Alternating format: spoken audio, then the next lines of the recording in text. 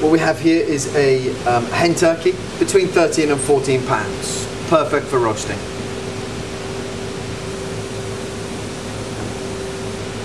What we have here is a fresh chicken, untrussed, drawn and cleaned, between 3 and 3.2 pounds. Perfect for roasting. A plucked, drawn duck, giblets inside, free of pens, between 4 and 6 pounds. What we have here is an oven ready guinea fowl. You can tell by the black scales on the legs and a very sharp pronounced breastbone. Between two and three quarters and three pounds. What we have here is an oven ready poussin, very small, usually single portion, perfect for roasting, spatchcock or grilling.